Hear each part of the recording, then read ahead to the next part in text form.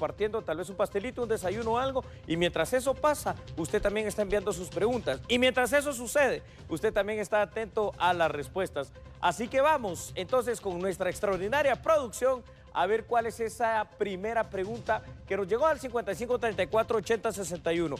Buen día, licenciado. Disculpe, tengo una hija de 15 años y el papá no me ayuda económicamente. Bueno, dele feliz día del padre, ¿no? También. Eh, ya le he pedido ayuda y me dice que el dinero no le alcanza y que se llevaría a mi hija a su casa, pero que yo debo de ayudarlo con la canasta básica. Yo le dije que no y que aunque sea con las cosas personales de ella me ayude, pero no quiere. ¿Qué puedo hacer? Bendiciones. Bueno, Señora, no sé cuál es su nombre, la desconozco, incógnita. Dice que no le quiere ayudar con su hija. Yo le digo algo, ¿qué está esperando? Yo sé cuántos años tendrá su hija, pero lo que está esperando son años perdidos. Vaya, por favor, y, e interponga Ah, bueno, 15 años, perdón, dice ahí, gracias. Ya le quedan nada más tres años. Vaya, interponga definitivamente eh, el trámite de la pensión de alimentos. No puede ser retroactivo, eso ya se perdió y no se va a llevar a su hija. Ningún juez va a venir y le va a otorgar la custodia y la patria potestad únicamente al padre, a menos que hayan causales de verdad muy fuertes. No tenga miedo, no le diga feliz día del padre porque no le está pasando nada aunque pues su hija sí debería de hacerlo y usted vaya rápidamente a interponer esa demanda de pensión de alimentos. 5534 8061. Vamos a ver cuál es la otra pregunta. Buenos días, me llamo Evelyn. Hola Evelyn, mi pregunta es, mi pareja falleció hace un mes, pero él estaba casado en El Salvador, wow. Nosotros estuvimos juntos cinco años. Construimos casa y camiones para trabajar porque yo puse mi dinero. Ahora todo estaba a nombre de él y la esposa ha venido a reclamar todo eso que yo construí con él y con mi dinero. ¿Qué puedo hacer en ese caso? A ver, a ver, aquí hay una situación, es decir, su esposo estaba legalmente casado con otra mujer, ¿verdad? Pero mi pregunta es cómo se enteró esta mujer de que habían ese tipo de propiedades acá. Yo tengo una duda, y más que una duda es la situación. A ver, es cierto que como esposa, si fuera aquí en Guatemala, tiene derecho a reclamar precisamente lo que le corresponde, que puede llegar a ser el 50% de lo que su esposo dejó, si eso es un intestado, y el otro tanto para sus hijos. Pero si usted trabajó y esas pertenencias están a nombre suyo y no a nombre del que era su conviviente y esposo de la salvadoreña, pues ¿de qué se preocupa? Sencillamente aquí lo que hay que ver es cuál es el derecho real de propiedad. Es decir, si las propiedades, si las cosas que ustedes hicieron en conjunto están a nombre de su esposo, bueno, vaya despidiéndose de ellas, eso sí. Pero si lo puso a nombre suyo, no le van a poder quitar absolutamente nada, así que no se preocupe. Sin embargo, sí hay que asesorarse bien y hay que revisar esa papelería. ¿Le parece si vamos a la siguiente pregunta? Sí, claro que sí, a mí también me parece. 5534-8061. Licenciado, buenos días. Me llamo Elizabeth. Hola, Elizabeth. Mi pregunta es, el papá de mis hijas me está pasando pensión alimenticia. Qué bueno, la felicito. Pero cuando ellos tengan la mayoría de edad, él dice que me quita todo. Y como no soy casada con él, pero hemos vivido 23 años juntos y quiero saber en qué situación quedo yo. Bueno, Elizabeth, a ver, no se me preocupe. Es que yo digo, ¿para qué se preocupa, verdad? Hay que hacer las cosas bien. ¿Sabe qué es lo que usted acaba de hacer bien? Consultarle al experto. Pregunto, Elizabeth, no lo sé, usted no lo dice ahí. Si usted no trabaja, usted también puede pedir una pensión para usted, ¿no? Para poder sobrevivir. Si usted se dedica, por ejemplo, únicamente al cuidado de sus hijas. De lo contrario, al final de cuentas, va a pasar algo, y esto sí es cierto, cuando ellas cumplan la mayoría de edad, eh, su esposo o su conviviente, lo que sea, el papá de sus hijas, pues ya no va a tener obligación de pasarle ninguna pensión de alimentos a ellas. Ya no la tiene, lo va a hacer moralmente si es un buen padre. Pero también si usted tuviese en ese momento una pensión de alimentos a favor suyo, ahí se va a extinguir ese derecho. Así que yo lo que le diría es que hay que replantearse las cosas y hay que ver qué es lo que usted también puede hacer durante estos años que, le quedan, ¿no?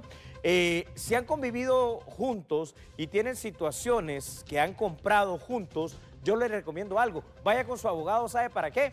Para que se pueda declarar la unión de hecho con un acta notarial y tres testigos que den fe de ello. Así usted puede tener derecho también a lo que le corresponde, a las cosas que han construido juntos. 5534-8061. Buen día. Le comento, yo tengo dos hijas y el papá me quitó la patria potestad. y en una visita que me tocaba solo me dio a una y pues ya no la regresé.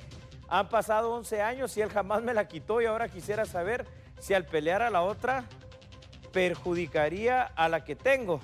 Bueno, no, es que este es un caso de casos. A ver, eh, el señor, el hombre, tiene la patria potestad. Usted se la lleva de visita y se la lleva definitivamente a su hija y, a la otra hija. No, no entiendo qué es lo que ha pasado aquí, cuál ha sido el relacionamiento entre ustedes, me refiero entre usted y el que era su pareja, su esposo, lo que sea, y usted con la otra hija que se quedó con él, no.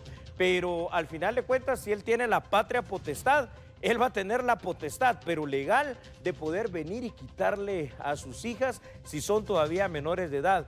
Esto yo le diría que usted tiene que ir rápidamente a asesorarse a un bufete popular. Si tiene la posibilidad, mejor aún si lo puede hacer con cualquiera de los eh, muchísimos profesionales del derecho que hay aquí en Guatemala para saber exactamente y para poder dirigirle de mejor manera. Sí le puede afectar, le puede afectar porque la patria potestad la tiene, le puede quitar a las dos. Con eso le digo todo. 55 34 80 61. Mi pregunta es, si yo tengo una casa antes del matrimonio y me caso, pero por problemas nos separamos, ¿esa casa se debe vivir como bienes o es solo mía?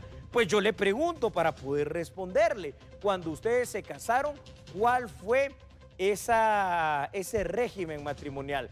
Si es la separación absoluta de bienes, ni se preocupe, esa casa va a seguir siendo suya. Ahora, si hay una mancomunidad de bienes, pues ahí sí, va a haber que dividirla y como no se puede partir como un pastel, pues de pronto se ponen de acuerdo. El primer nivel para ti, el segundo nivel para mí, o de pronto se ponen de acuerdo y la venden y dividen ese dinero. Pero ¿sabe qué es lo importante aquí? Que ustedes vayan y que ustedes revisen, por favor, y usted sobre todo, eh, con el abogado que las casó, que los casó, cuáles fueron es, cuál fue ese régimen económico que adquirieron.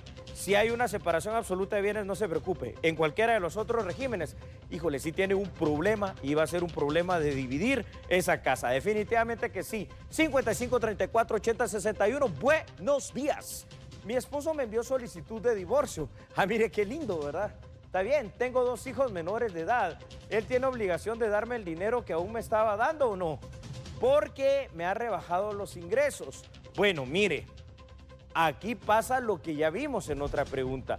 Él tiene obligación, y ojo porque esa obligación también es de la mujer, solo que el Código Civil guatemalteco dice que el primero llamado a cubrir esa mm, situación de lo que constituye alimentos. Alimentos es techo, es educación, es salud, es ropa y un montón de cosas más, es el hombre. También dice que la mujer lo puede hacer de manera solidaria.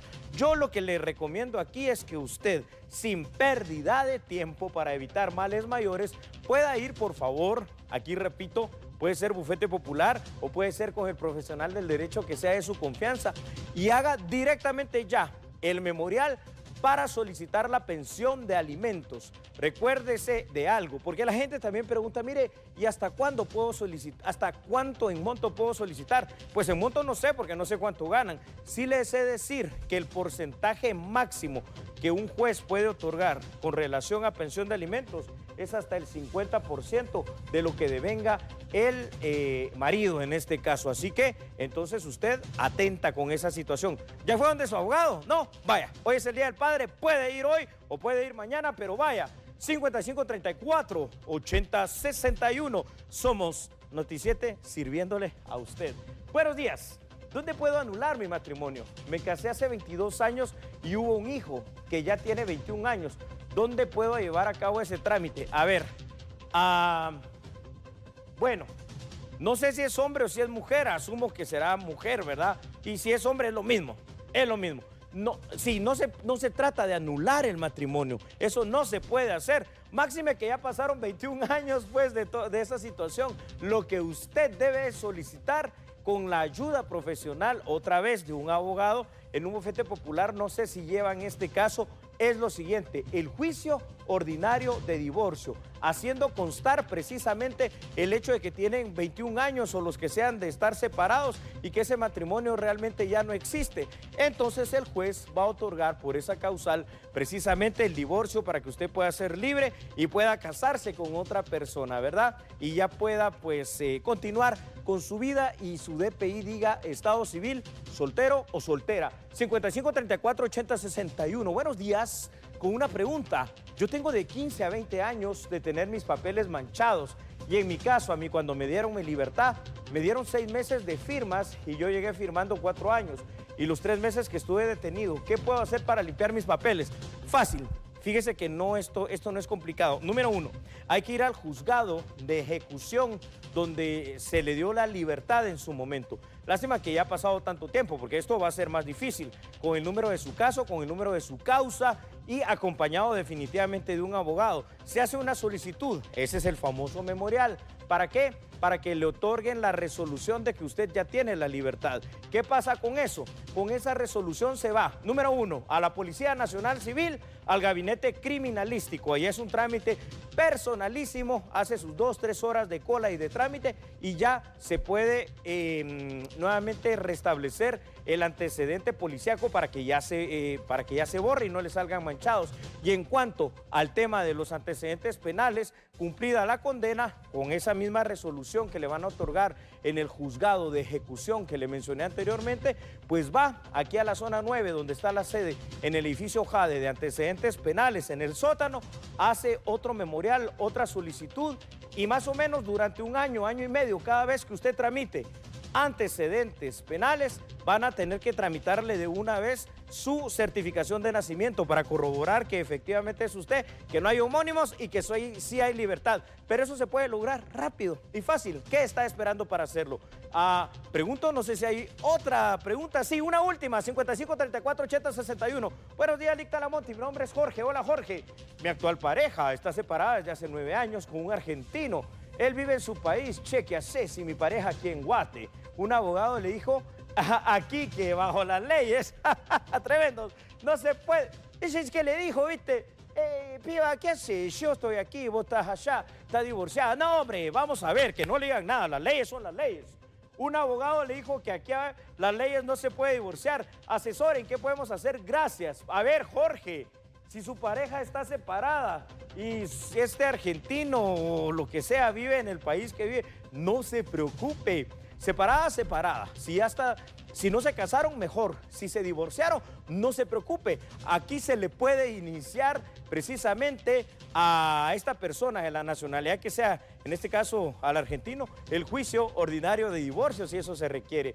Usted, che, no se preocupe, ¿viste? Es el Día del Padre, así que dígale al argentino también lo mismo. Les puedo decir algo, aquí, a la distancia, desde Noticiete, que estamos comprometidos con la noticia y comprometidos con usted, le manda su servidor, Julio Talamonti, todo el equipo de producción y todos los que hacemos posible este programa, un fuerte abrazo a aquellos padres guatemaltecos. Y a usted, para mientras también le digo, ¡chao!